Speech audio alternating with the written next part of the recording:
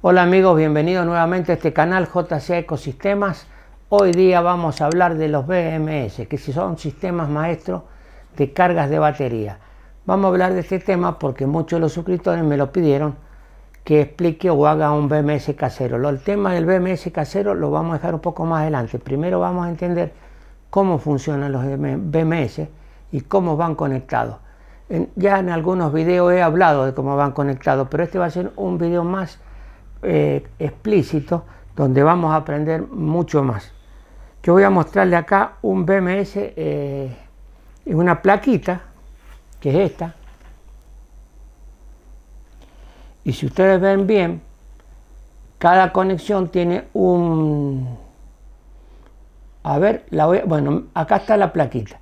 La voy a dar vuelta para que vean la inscripción de los voltajes. Ahora la voy a dar vuelta así. Y van a ver que hay una conexión que es negativa, que es 0, otra que dice 4,2, que es la primera conexión, otra que dice 8,4 y otra conexión que dice 12,6. Esa, y después hay dos conexiones más que es en la entrada y la salida. Yo les voy a explicar cómo funciona este BMS y después vamos a hacer un BMS casero, pero les voy a explicar cómo funciona este BMS y cómo se conecta. Entendiendo cómo funciona y cómo se conecta un BMS, eh, después podemos hablar sobre la construcción de un BMS casero y entre todos nos vamos a ir dando cuenta cuál es la función de este aparato. Eh, yo les voy a mostrar acá una batería que he hecho yo instalado el BMS.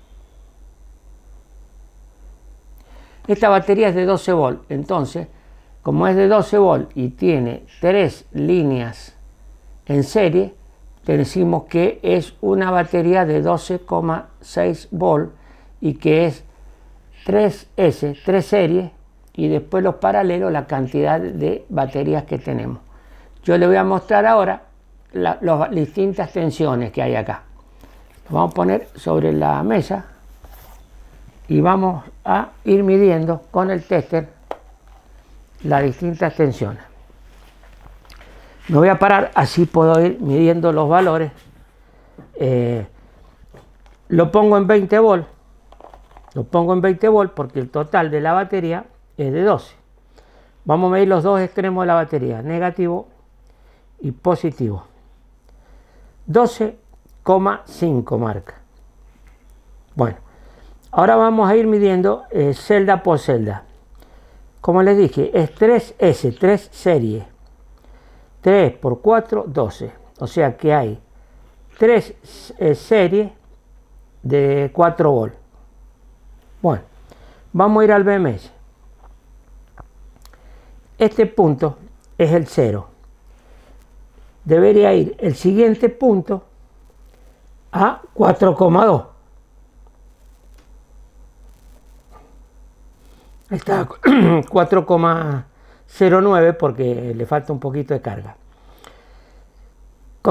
contando desde el 0 al punto que sigue, vamos a tener 8,1, que debería ser un poco más, y el último punto debería ser 12,6, da 12.1. ¿Por qué? Porque está descargada, un poquito más le faltaría.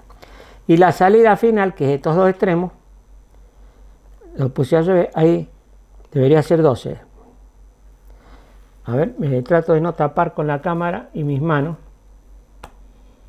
12.16. Si yo mido cada una de las celdas, me va a dar 4 volt. 4 puntos y pico. Esa es la primera celda. La segunda está entre el 8 y el 4. También. Y la última está entre el 8 y el 12, está bien, la suma de las todas me va a dar 12. Bueno, es muy importante que vieran cómo, eh, cómo estaban los voltajes con respecto al BMS. Ahora le voy a, yo le estoy mostrando los voltajes en serie, pero esta batería es de 12 volt, pero tiene 1, 2, 3, 4, 5, 6, 7, 8, 9, 10, 11, 12. Tiene 12 baterías en paralelo cada serie. Acá hay 3 volt, acá hay 4 volt, 4 y 4. 4 por 3, 12, pero a su vez tengo cada grupo de 4 volt en paralelo para formar más amperaje. Acá hay, hay 12 baterías en paralelo y el voltaje de una serie es 4,1, aunque tenga 12, pero sí aumenté los amperes, que es la multiplicación de 2,4 que tiene cada pila por 12. Ahora vamos a ir a la pizarra como hago siempre porque le aclara bastante. Hay BMS de otras características, por ejemplo para 4S. 4S sería 4 celdas, 4 celdas. Bueno, ahora le voy a mostrar este que es para 4 celdas es para 16 volt, porque que, le, agregamos a los 12 volt 4 volt más, 16. Y acá tiene las dos salidas, las dos salidas que es entrada y salida. Acá tiene los 0 volt, ahí tiene los 0 volt, acá 4. Después eh, me cuesta un poco de ir viendo los, los valores. 4, 8, 12, y 16. Pero tiene cuatro líneas. ¿Por qué? Porque la batería es 4S, 4 series y da más de 12, da 16 volt. Bueno, ahora voy a ir a la pizarra que les aclara muchísimo esto de la pizarra. Por eso e insisto yo siempre en la pizarra y creo que mucha de la gente le interesa que haga esto de la pizarra porque eso que ustedes vieron ahí es físico. Y ahora vamos a ver un poquito con algunos circuitos que nos ayudan a comprender la realidad de cómo va conectado y cuál es la función que hace. Bueno, yo acá dije que tengo 3S, 4P. ¿Por qué? Porque en este caso tengo 3S, 4P, tres series, 1, 2, 3. Tres baterías en serie. Cada una tiene 4,1 porque están cargadas y forman 12,6. 4P porque tengo paralelo 1, 2, 3, 4. En este momento no están conectadas, solamente he conectado la primera serie. Y el BMS, este, tengo el punto 0, va a la conexión 0. Voy a ir tratando de hacer la conexión con el dibujo, como ustedes vieron. El punto 0 va a la conexión 0. El 4,1, que es la primera eh, línea de batería, va conectado a la primera línea. Acá hay 8,2, saco la conexión de 8,2. Y la última, que es 12 volt, que es esta, me parece que me voy a tener que parar porque me está faltando altura. Esta viene a los 12 volt. Ahí está conectado el BMS. Cada una de las conexiones toma de 0 a 4 de 0 a 8 y de 0 a 12. Ahora yo voy a conectar un cargador de batería. Yo todavía no he puesto los paralelos que son estos. Agarro, conecto el negativo a un cargador y el positivo al otro extremo del cargador. Volvamos al principio. Este es el BMS que controla las cargas. Y este es un cargador que no tiene nada que ver con el BMS. El cargador es un cargador, es una fuente de 14 volt que está por encima de los 12,6 volt. Tiene que estar por encima para que la cargue. Cuando empieza el cargador a cargar, las baterías no están todas en 4,1. Están en 3,7, la otra 3,2, van variando los voltajes. Entonces, ¿qué pasa? El cargador empieza a cargar en serie todas y cuando una de ellas llega a 4,1, aparece acá dentro del interior del circuito una resistencia de esta forma que la puentea. Cuando esta llega a 4,1, si la otra no ha llegado a 4,1, el BMS en su interior puentea la, que se cargó. No la nula, la puentea para derivar corriente por arriba y le aumenta la tensión a las dos que queda y acá se pierde un poco de energía en la, en la, en la que ya tiene.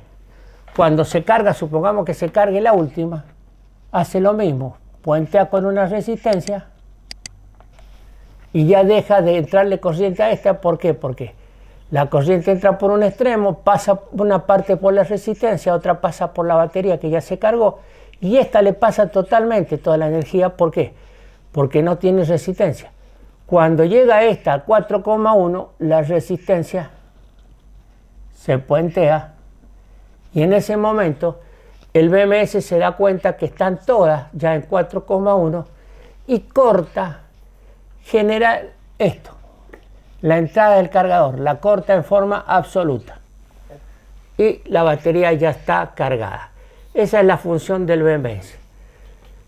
En este caso va a cargar todas las tres series de baterías, pero si nosotros conectamos en paralelo, acá, esta con esta, esta con esta, esta todos los positivos, le estamos agregando baterías en paralelo. Hace exactamente lo mismo. Esta no va a poder llegar a 4,1 si esta no llega y si esta tampoco y si esta tampoco. ¿Por qué? Porque están en paralelo. La, energía de esta se va a esta, de esta a la otra y se van compensando hasta llegar a 4,1. O sea que el BMS va a leer el grupo de baterías en paralelo, siempre. Va a demorar más en subir la carga porque se va a ir repartiendo, pero no puede estar esta en 3,2 y esta en 4,1. ¿Por qué? Porque la energía, como es un sistema como de vasos comunicantes, pasa de una a la otra hasta que en serie quedan todas al mismo voltaje, siempre y cuando estén bien las baterías. A veces falla la batería, pero una de ellas y ahí se produce el problema. Pero estando bien, al estar en paralelo, a ver si entienden esta parte. Yo voy a hacer una batería acá, de 4,1. Voy a poner otra batería en paralelo, dos baterías en paralelo. Acá tengo 3P, 3 paralelos se llama esto. Estos son los positivos y estos son los negativos. Están todas en paralelo porque tienen todos los positivos juntos y todos los negativos juntos. Supongamos que esta, esta tiene 4,1 y esta tiene 3,7 y esta tiene 2,9. Bueno, puse 5, 2,9. Esta conexión es imposible que cada una tenga una tensión distinta, porque cuando esta tiene 4,1, la tensión de esta tiende a irse a la de 3,7 y la de 3,7 tiende a mandar la energía a la de 2,9, porque es como yo les sé explicar, si fueran tres vasos de agua, a distintos niveles y yo la uno por abajo, van a tender todas a un mismo nivel. Por una cuestión de sistema de vaso comunicante, la primera va a mermar, la segunda va a aumentar y la tercera va a aumentar y van a estar todas en un nivel. El promedio de las tres tensiones, pongámosle que sea Q, 3,9, eh, no sé, no lo saqué, pero 3,9, supongamos que quede así. Entonces el cargador va a seguir inyectando a este grupo hasta que llegue a 4,1 la primera, que va a ser exactamente igual las demás. Quiero decir con esto que el BMS va a ir puenteando cada una de las líneas a medida que se van llenando. Y cada una se van a ir llenando porque están en paralelo, transmitiendo la energía una a la otra. Solamente las series, las S, las series, las 3S, pueden estar desbalanceadas, pero el, el, BMS lo que hace es ir puenteando para que deriva parte de la corriente que le excede a la 4,1 para la parte que no se llenó y después lo hace con la otra. Hay BMS de más línea, que es el de 4, como este. Este tiene, termina en 16,8, cuando el otro teníamos 12,6. Eh, este tiene 12,6 este de 16. ¿Por qué? Porque tiene una línea más, pero también tiene una conexión más, que es lo mismo que repetir esto al lado. Bueno, entonces tenemos 3S, 4P, que son estos. Pero si queremos hacer uno de 4S, 4P, tenemos que poner una línea más de esto. Y el, y el, el, el BMS tiene que tener una conexión más.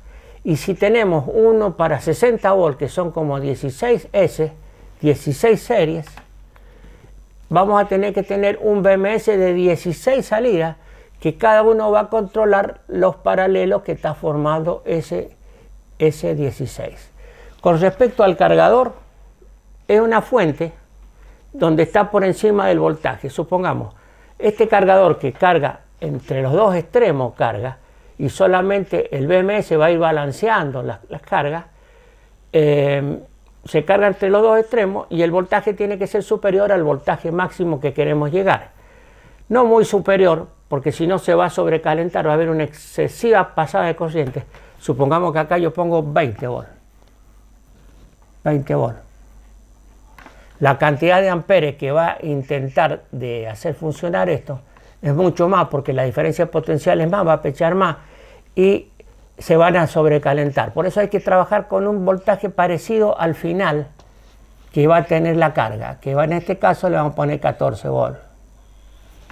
Si el BMS fuera de 16, 4S, tendría que ser por lo menos de 19 volts con 4S. Por eso las algunos vienen de 19 volts.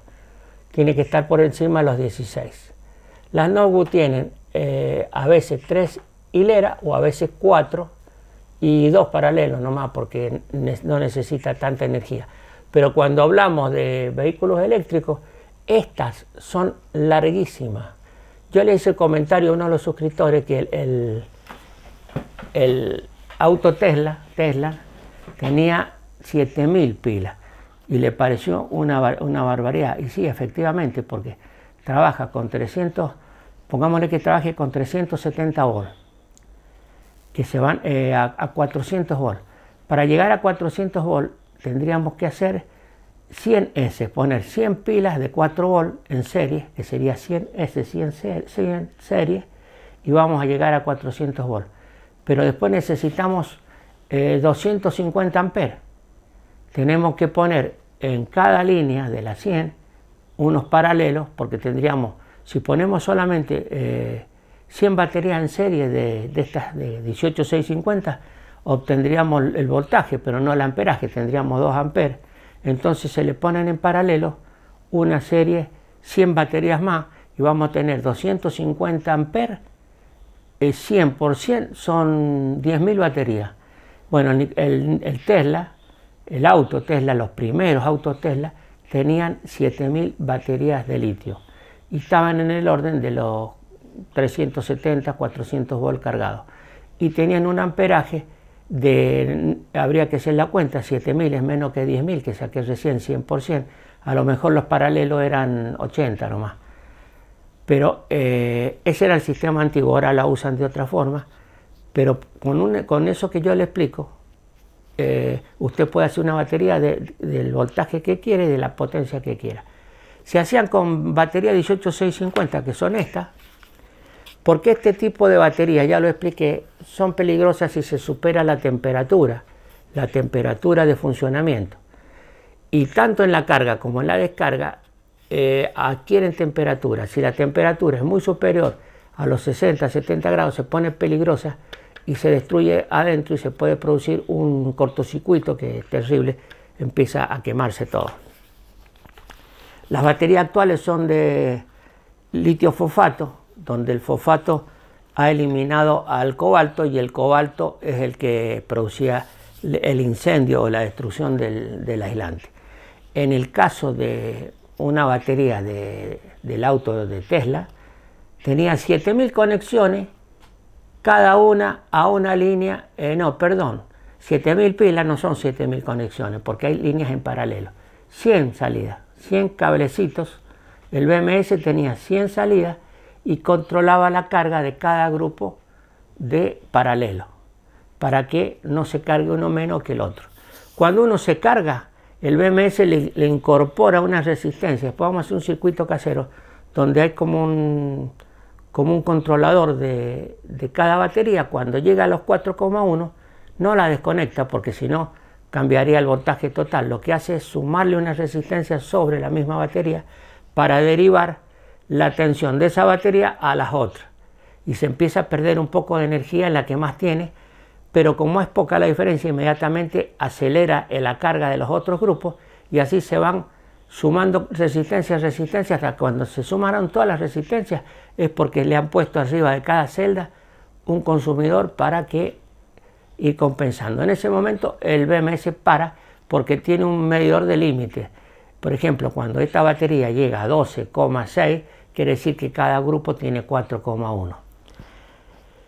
¿Por qué le expliqué todo esto? Porque en algún momento voy a hacer un BMS casero donde hagamos un circuito, con un, puede ser con un transitor, puede ser con un relay cada línea, vamos a ver cómo, y con un diodo Zener, por ejemplo.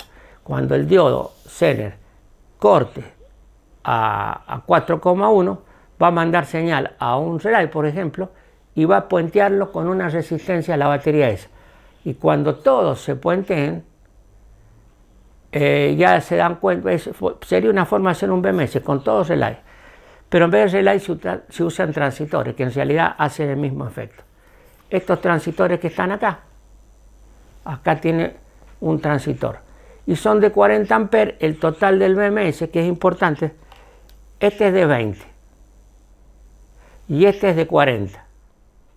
Si usted ve la diferencia es la cantidad de transitores que van a cortar la energía o que porque salen y entran por el mismo transitor. Entonces, tanto el consumo como la carga la manejan los transitores, que podrían ser relays, porque en realidad los transitores son relays. Los relays muy antiguos producen chispas y ese tipo de cosas, pero con los transitores se hacen un BMS moderno como es este. Espero que le haya interesado la charla. Esta es una charla para que sepamos cómo funciona el BMS, porque hasta ahora hemos estado hablando que es un controlador de carga y qué sé yo funciona de la manera que yo le expliqué.